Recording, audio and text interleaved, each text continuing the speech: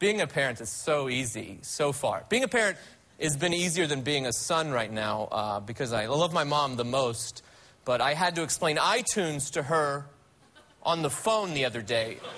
That may be the last time we talk for the rest of my life. She wanted iTunes. I said, you just go online, find iTunes, download it, create a username and a password, and you have iTunes. And she said, Are there spaces in that?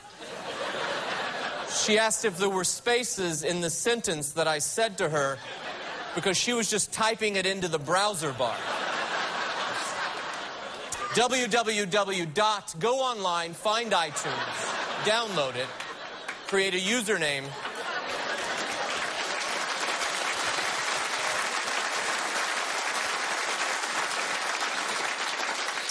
And a password.com and just fling it into the internet. She's like, there's all the information. Bring me iTunes by the morrow.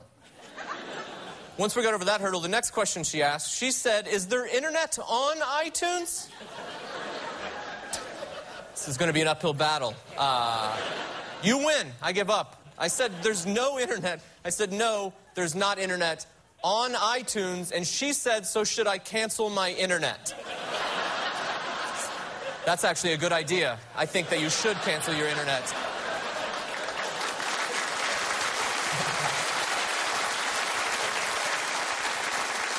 I told her to cancel the internet and throw her computer out of a window than beat it with a stick. I would rather pay a band to play for my mom every night of her life than to explain iTunes to this woman one more time. She called me an hour later and goes, I downloaded a song. Is it supposed to open in Microsoft Works? Short answer is no. No, it is not supposed to open in Microsoft Works. I don't even know how you made that happen.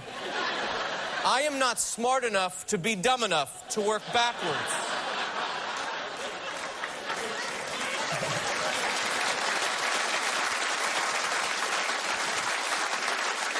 I have no idea how she opened a song in Microsoft. The number of things she did wrong in a row to get a song to open in Microsoft Works. The amount of times her computer said, Are you sure?